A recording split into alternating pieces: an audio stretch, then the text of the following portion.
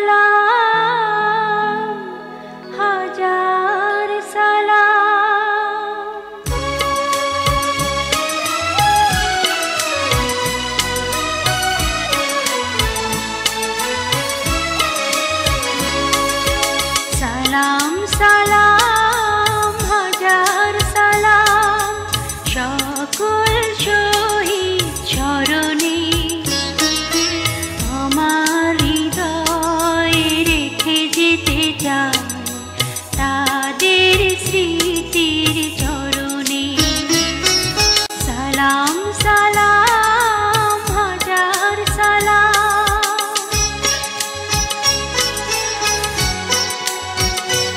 আমি আলহাজ আবু বকর আহমেদ, পিতা মৃত রিয়াজুদ্দিন মণ্ডল, মাতা মৃত গোলেজান বিবি, স্থায়ী ঠিকানা গ্রাম ইসমাইলপুর পশ্চিম মিঠাপুর, উপজেলা বদলগাছি জেলা নওগাঁ।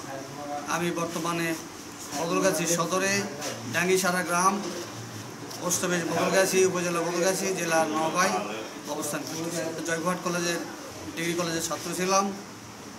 তারপরে সেই সময় শেখ মুজিবুর মুজিবরের সাতই মার্চের ভাষণ সবাই যুদ্ধে অংশগ্রহণ করার জন্য প্রস্তুতি নেয় এবং জয়পুরহাটের ছাত্রলীগে আমাদের কমিটি ছিল, সেই কমিটির আমাদের লিডার ছিল জয়পুরহাটের রিতীশ ভাই। তো সেই মুহূর্তে আমার বড় ভাই সেই সময় রাজশাহীতে চাকরি করে সেটেলমেন্ট অফিসে চাকরি করতো সাতই মার্চের পরে। তো আমার বড়বাব সহ আমার বড় বাবের জাতীয় এক ভাইও চাকরি করতো। তো বড়বাব বলল যে, চলো একটু রাজশাহী থেকে ছেলেরা আছে একটু ঘুরে আসি। আমি তখন তো ইয়ং ছেলে ভয় ভয় করে যাচ্ছিলাম, তারপরে পাতলা মার্কিন জামার পাঞ্জাবি আর পায়জামা পরে রাজশাহীতে চলে গেলাম, কয়েকদিন থাকলাম।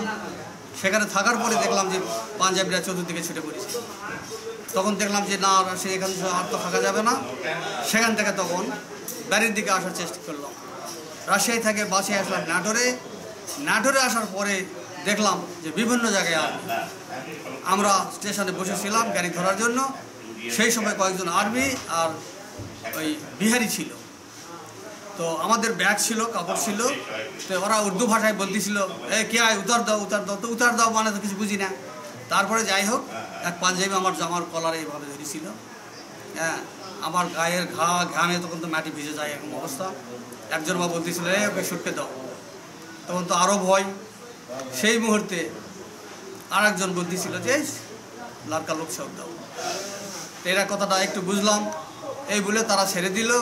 সেখান থেকে কিছু দূরে বাসুদেবপুর বলে একটা স্টেশন আছে নাটোরের পরে সেখানে আমাদের গ্রামের লোকজন ছিল। এই সেখানে যাই রাত প্রবাস করলাম। তারা তো দেখে হঠাৎ আমাদের দেখে চমকে ওঠে। কী ব্যাপার? আমরা বললাম যে এই ঘটনা।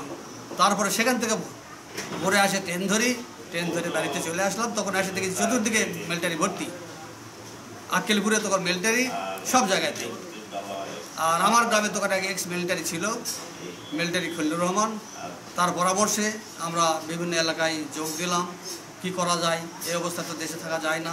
এবং সেই মুহূর্তেই দেখলাম পাঞ্জাবিরা ভান্ডারপুর বাজার ছিল আমাদের আক্কেলপুরের পরেই ভান্ডারপুর। সেখানে পাঞ্জাবিরা এসে এক কর্মকার ছিল। সেই কর্মকারকে গুলি করে হত্যা করে। তারপরে এক হ্যারি ছিল, খোরা প্যালাইস লাঠি ঢোকাতে বেড়াতো। তাকেও হত্যা করে। এরপরে তখন আমরা দেখলাম যে না, এত দেশে থাকা সম্ভব নয়, আমরা তখন দেশ ছেড়ে চলে গেলাম। ভারতে যাই প্রথমে মধুপুর ক্যাম্পে অবস্থান করলাম। সেখানে বেশ কিছুদিন ট্রেনিং করলাম, দৌড়াদৌড়ি করলাম ফিজিক্যাল ট্রেনিং যে সমস্ত হয়।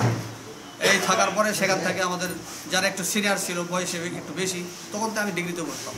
আমার বয়স একটু বেশি ছিল, একুশ বছর প্রায়। আমার সঙ্গে এরকম ছিল নওগাঁর কিছু। তাদের সহ আমাদের লিস্ট করে আমাদের তখন সেখান থেকে আমাদের মালদা ডিস্ট্রিক্টের গৌরবাগাড়ি হেলথ ক্যাম্পে আমাদের পাঠানো হয় তারপরে সেখানে যায়, আমরা একসঙ্গে প্রায় গেলাম দুই প্লাটন সত্তর জন। আমরা একসঙ্গে গেলাম, যাওয়ার পরে সেখানে অবস্থান করি, সেখানে ট্রেনিং করি। আমাদের ট্রেনিং কমান্ডার সেই সময় ছিল ওখানে আব্দুল মান্নান রাজশাহী আর হাকিম দাদা ছিল।